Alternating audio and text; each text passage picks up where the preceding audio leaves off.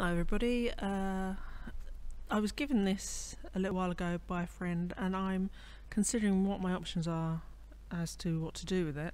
I'm thinking maybe a street scene or something in there, or something cool like that. Uh, if you'd like to comment uh, and tell me what sort of thing you might like to see me make to put in here, uh, please comment down below and don't forget to like and subscribe. And we'll now get on with the uh, video. Thanks. Bye. Hello there. Uh, welcome to another one of my Concertina sketchbook bits. Um, you know by now that uh, this is a series of painting, paintings, drawings, sketchings, you name it, uh, inspired by uh, Neil Gaiman Terry Pratchett's Good Omens. If you haven't read it, read it. If you haven't watched the TV series, do that too. Just because, why not? Uh, this one is slightly different format to the other ones I've done because normally I do a double page spread. So it's basically uh, the concertina folds into a sort of rectangular shape. And I've been doing it so that it's been just slightly bigger than the square. This time though, I'm using each um, area as a different thing. So this is, you can probably guess if you know the book uh, that these, well, basically this is four sections. So what what comes in fours? Uh, I would say the four horsemen of the apocalypse, but it's not horsemen. It's uh, horse riders or horse people. Though horse people always makes me think of centaurs, so not centaurs. That would be weird. Uh, so yeah, and I'm using the inks I got in the. Mostly, I'm using the inks that I got in the last Artful box. Uh, hopefully, before this comes out, you would have seen. Uh, you would have seen the unboxing for that one, and so you know what this is. If you haven't, go watch it. I mean, obviously you know it's inks, but you won't see what else is in there. I hope this hasn't spoiled it for you. Oops, if it has, sorry. Uh, yeah. So I'm putting down sort of vague shapes in water and then adding the ink to sort of make splodgy, as you can see, quite splodgy shapes. That's a technical term, splodgy, obviously and it looks quite fun because it means you put down a bit of colour and it just moves out in quite a satisfying manner. And you're never quite 100% sure how it's going to look which I quite like.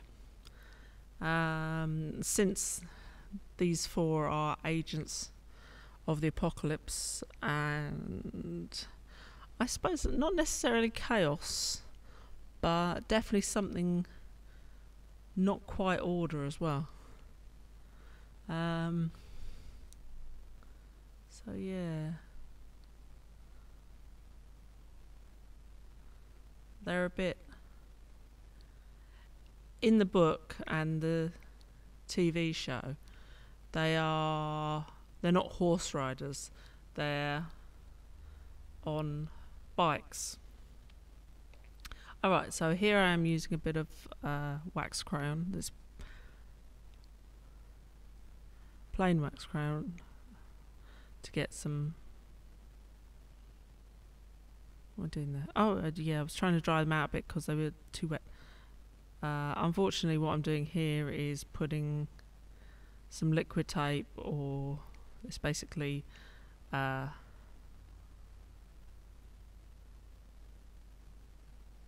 oh god, I can't remember the name of the word. The name of the word?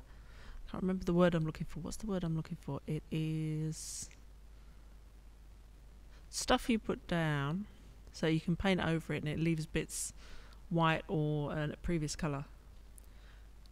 I'll give you a hint. Unfortunately, uh, I did this, but then I think I didn't actually dry it enough so it's stuck to some of the bits of paper more than others. So i I've got a couple of rips from this. Um, I probably could have done with leaving it on a bit longer and put laying up, layering up the colours a bit more before doing this. But hey, So yeah, it's quite good fun though. Uh, masking medium, that's it. I knew it'd come to me eventually. God. I would say it's my age, but I've been like this, well, forever.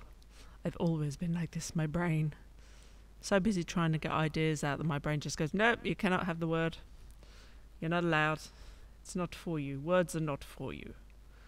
I should keep them in me. You cannot have them. So yeah, so I, unfortunately I didn't actually dry the the ink properly before doing this. So bits of this work quite well, and bits of this have just written the paper. But hopefully, the overall effect will not be too bad. And this is just because I want to keep some bits a bit paler than other bits, or I want to keep certain bits. Uh, yeah, and I'm drying it off because I'm impatient. As you can probably tell by the fact that I've speeded this video up so much. Uh, yeah. So anyway, uh, in the actual book, these are, and in the series, these are, they're not major parts, but they're sort of necessary. But they're quite quite interesting characters because I mean, what what motivates the anthropomorphic personification of a human idea? I mean, you've got the four riders here. Uh, you probably guess which one's which. So you've got war, famine, death, and pollution, weirdly enough. Uh, obviously, tradition it's pestilence. Uh,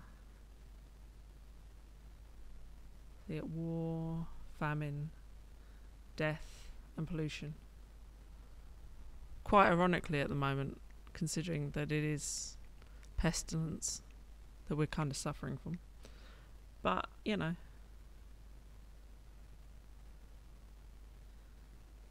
Oh, science is cool. Science does good stuff, does good work.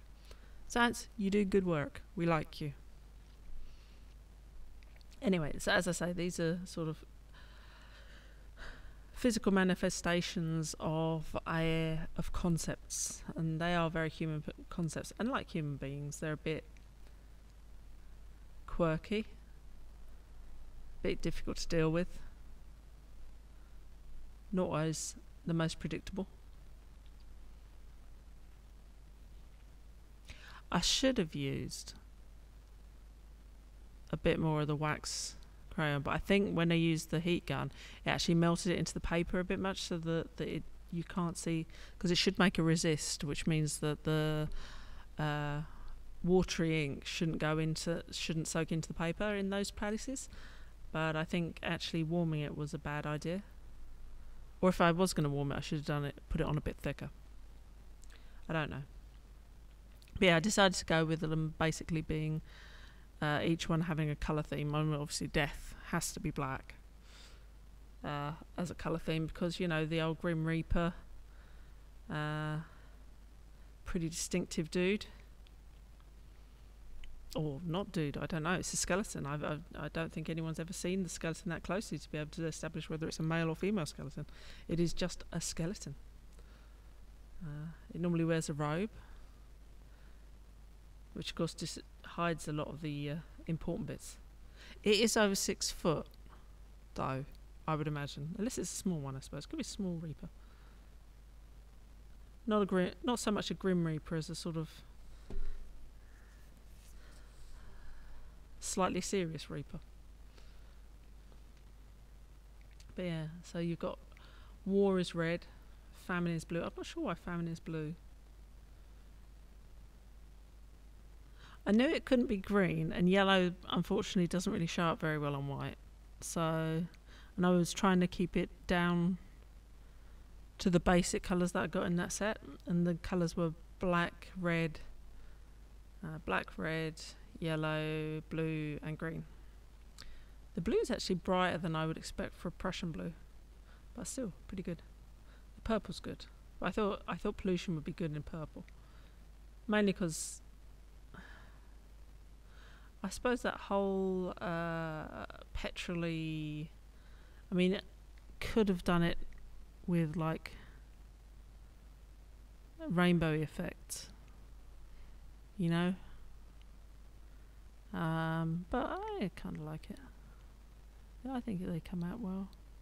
But it was just an, and it was an opportunity to um, make. Just says me checking to see if the ink has gone all the way through, but they're actually quite good because it's um, quite thick paper anyway, and then it's double layered. So what actually happens is it separates the layers out a bit. I don't know what binds it together. Probably the force. But yeah, so so just like layering on colours and trying to make it as deep and some deep and dark stuff.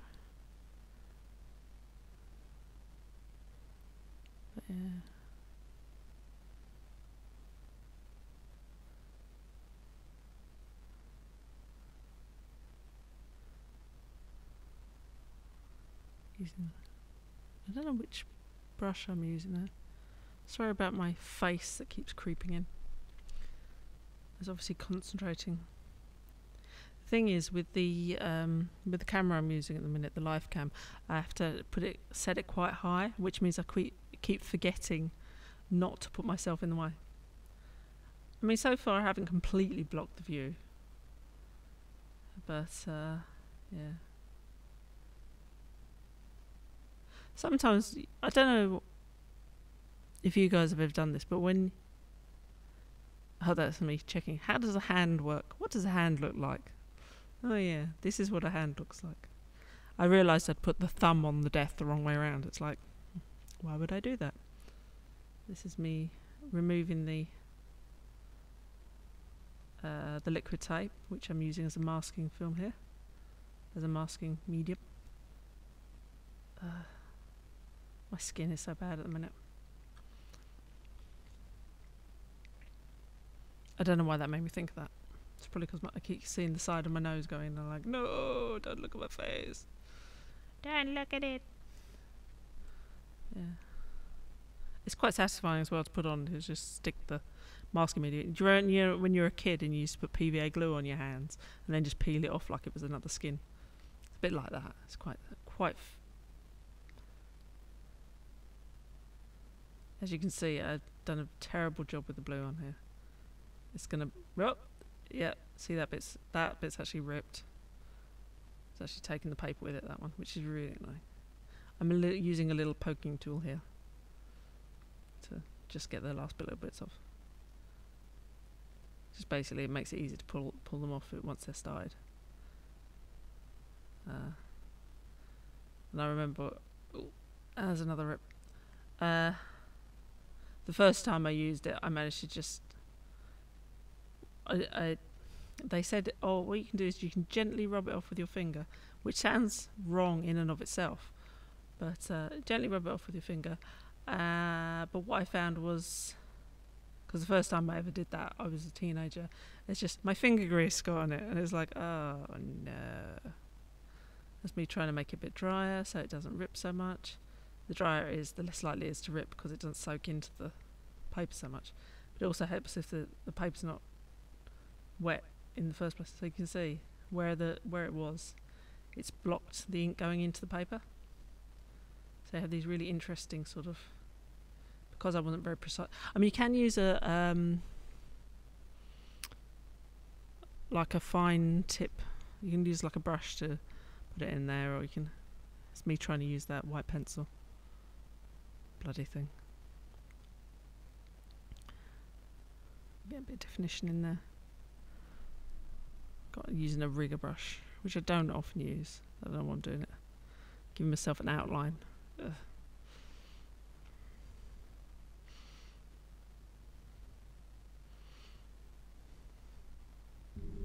Ah, sorry about that. I'm just getting drawn into the picture there. Yeah.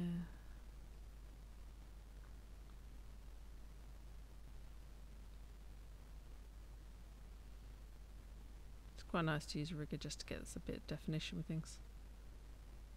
I don't often use them because I generally I I like to paint big and splodgy. But uh, it's something a bit different. I also quite like doing this because it gives me an excuse. Look, there's a bit of yellow there. Because of course, flaming sword. Because you can't go wrong with a good old-fashioned flaming sword.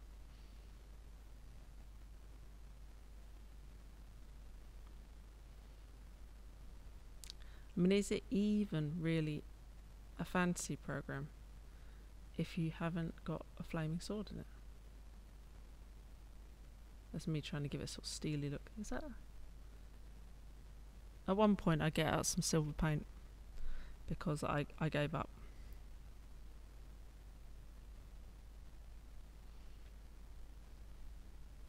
I mean, I shouldn't really do things 100% from my imagination anyway. I should use references. There you go, a little bit of. Ah, yeah, it was really weird. I had. So this is Stuart Semple silver acrylic, which is it was nice. It's not very opaque, which is a bit weird, but it is definitely very silvery. You'll see later on how how well, it's not reflective, but it's just really, really sort of shimmery and metallic. It definitely catches the light, which was a bit different. I just like trying new things. What can I say?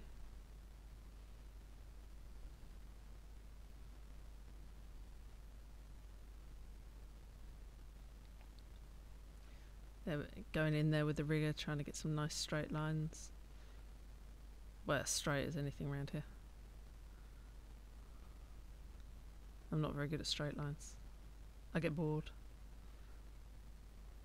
After all, everyone knows the fastest. Uh, uh, is it the fastest journey between two points is a curved line? Or something, I don't know. I didn't finish school, what do I know? Kids finish school.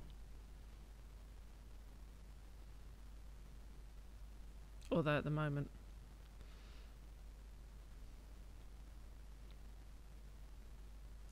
quite like this one because it's got sort of. I'm trying to do the the death there. It's kind of uh, come out a bit like. Well, if you ever see catacombs, those catacombs in France where they have like the little niches for all the different bones, it's kind of like that, or maybe like um. I don't know. It's definitely looks like that one's embedded in something, which I quite like.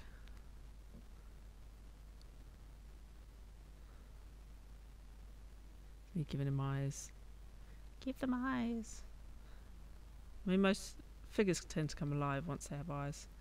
Although they have, I have kind of given them all like crazy staring eyes. Because, heck. So yeah, so you got the icons. You got the sword, and the scales, and the timer, and the. I don't think it, the the egg timer was actually, or the hourglass was actually in the, uh, in Good Omens, but it's kind of the symbology for time and what have you is uh, is just handy shorthand really. Uh, and then you've got the crown for pollution.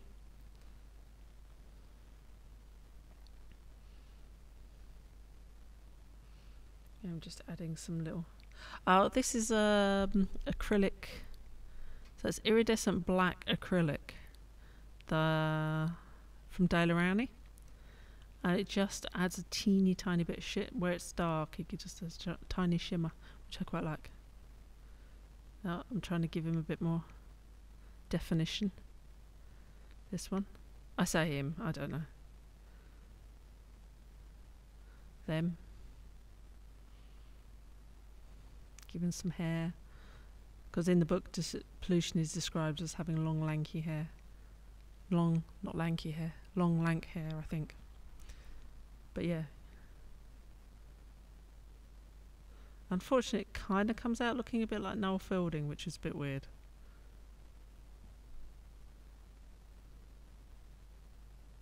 Uh, and sometimes, you know, sometimes things come out a bit like that. I think it's the long, thin face and the long hair. Not not as much volume as Noel Field. No, Noel Fielding has more uh, volume in his hair, obviously. But there's definitely a, a touch of. Yeah.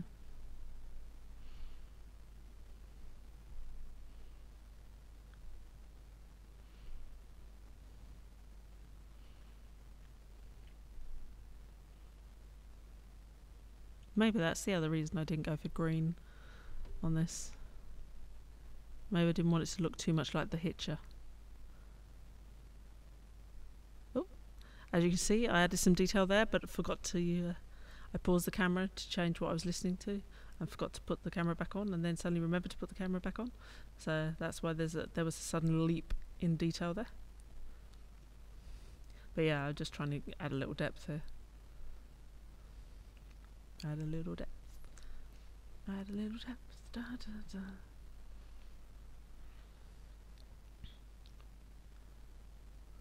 I'm trying to see.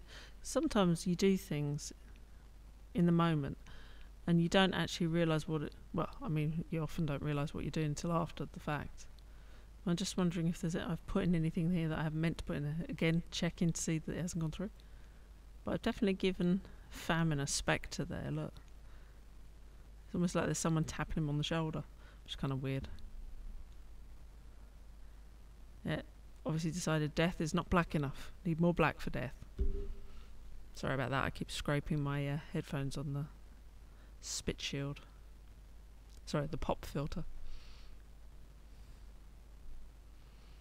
Just giving war a bit more of a thing. Giving her a bit of definition.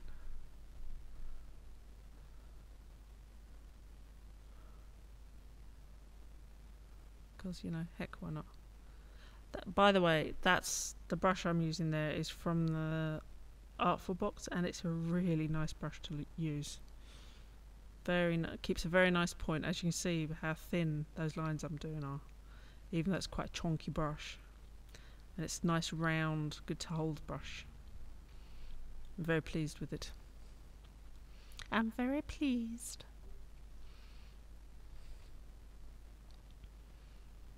Yeah, so sort of just going with the where the ink has sort of made shapes and going with those as guides to where things are. So it's it's not right, you know, but it's kind of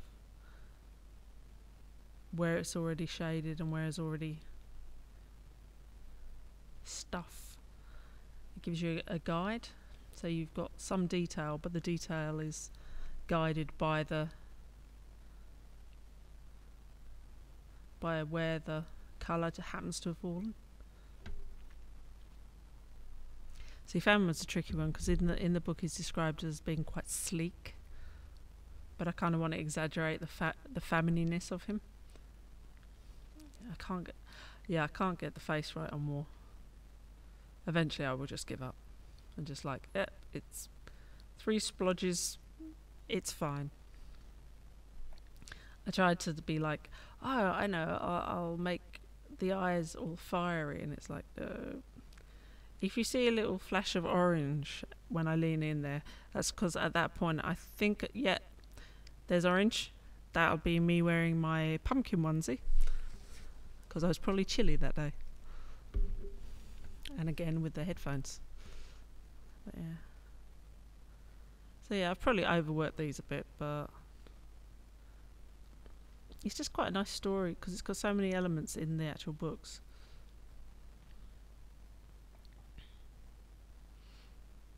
It also gives me something to work from.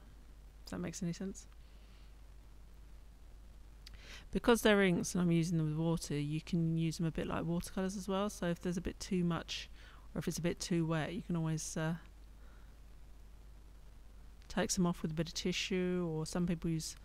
I mean, you can get things called watercolor sponges, which are supposed to be particularly good. Oh, cut did a very uncomfortable cut there. Uh, so you can have a close up on the faces,